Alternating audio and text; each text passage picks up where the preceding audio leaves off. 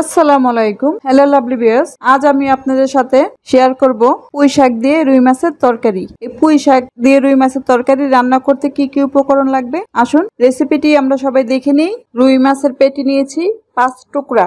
এক কাটে পুঁই শাক ভালোভাবে ধুয়ে কেটে পরিষ্কার করে রেখেছি। সাথে মিডিয়াম সাইজের একটা আলু কেটে রেখেছি। পেঁয়াজ লাগবে হাফ কাপ। আদা, রসুন বাটা লাগবে এক টেবিল চামচ। সরিষার তেল লাগবে তিন টেবিল চামচ। ধনিয়া গুঁড়া এক চা চামচ, টালা জিরা গুঁড়া হাফ চা চামচ, লবণ স্বাদ মতো, হলুদ গুঁড়া এক চা চামচ, মরিচ গুঁড়া এক চা চামচ। রান্না শুরু করি। প্রথমে মাছের সাথে একটু লবণ দিয়ে দিচ্ছি, একটু হলুদের গুঁড়া, একটু মরিচের গুঁড়া, সবকিছু এভাবে মাখাতে হবে।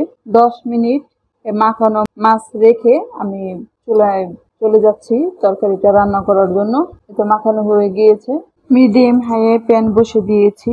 এর মধ্যে এখন তেল দিয়ে দিচ্ছি। মাছগুলো আমাদের ভেজে নিতে হবে। তেল গরম হয়ে গিয়েছে। মাছের পিসগুলো দিয়ে দিচ্ছি। অনেক সময় দেখা যায় যে এরকম একটু উঁচু হয়ে থাকে, একটু চাপ দিলে ঠিক হয়ে যাবে। মাছগুলো লাল করে ভেজে নিচ্ছি।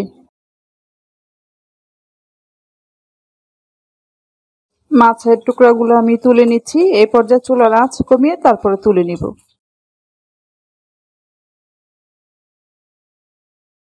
পেঁয়াজ দিয়ে দিচ্ছি। চুলার আঁচ মিডিয়াম হাই রেখে আমি রান্নাটা সেরে নিব। পেঁয়াজগুলো বাদামি কালার করে ভেজে নিতে হবে। পেঁয়াজগুলো বাদামি কালার হয়েছে। এ পর্যায়ে আদা রসুন বাটা দেব। একটু ভেজে নেব। এখন এর মধ্যে একটু পানি দিব। বাকি উপকরণগুলো দিয়ে দিচ্ছি। মশলা ভালোভাবে কষিয়ে নেব। আর একটু পানি দিতে হবে। না হলে মশলার যে একটা কাঁচা গন্ধ, তা থেকে যাবে। আর মশলার কাঁচা গন্ধ থাকলে তরকারি খেতে ভালো লাগে না, একটা কাঁচা কাঁচা গন্ধ লাগে। মশলাগুলো নেড়ে কষিয়ে নিয়েছি। এখন এর মধ্যে পুঁই শাক আর আলু দিয়ে দিব।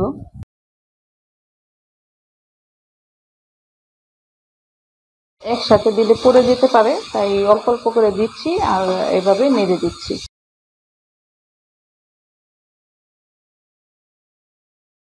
নেড়ে মিশিয়ে একটু ঢেকে দিব। শাক পাতাগুলো একটু ভালোভাবে কষিয়ে নিতে হবে। এই তো নেড়ে মিশিয়ে দিলাম। এখন একটু ঢেকে দিব তিন চার মিনিটের জন্য। ঢাকনা খুলবো। এখন নেড়ে দিতে হবে।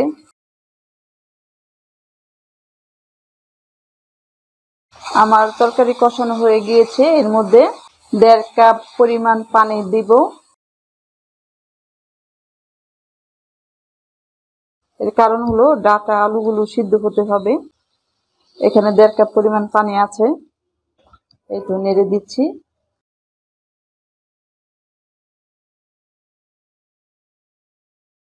ঢেকে দিব। বলক আসলে যেন পড়ে না যায়, তখন ঢাকনাটা এইভাবে খুলে দিব।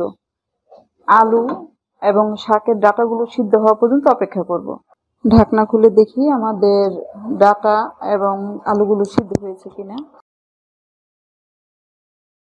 আর একটু হবে। এখন এই পর্যায়ে চুলার আঁচ লো করে দিয়ে মাছগুলো দিয়ে দিব। চুলার আঁচ লো করে দিচ্ছি, তারপরে মাছের পিসগুলো দিয়ে দিচ্ছি। এখন ঢেকে দিব, আরও কিছুক্ষণ অপেক্ষা করব। ঢাকনা খুলে মাছের পিসগুলো উল্টে দিব।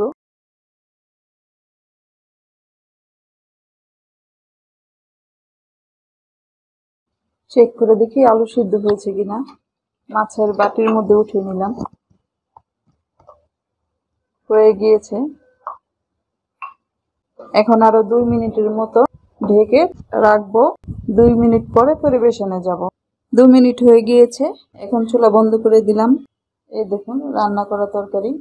এখন পরিবেশনে যাব। আপনারা যদি ঝোল আর একটু বেশি রাখতে চান, পানি আর একটু বেশি দিবেন, আমার মতো রাখতে চাইলে যেভাবে আমি রান্না করেছি, ঠিক সেইভাবে রান্না করবেন।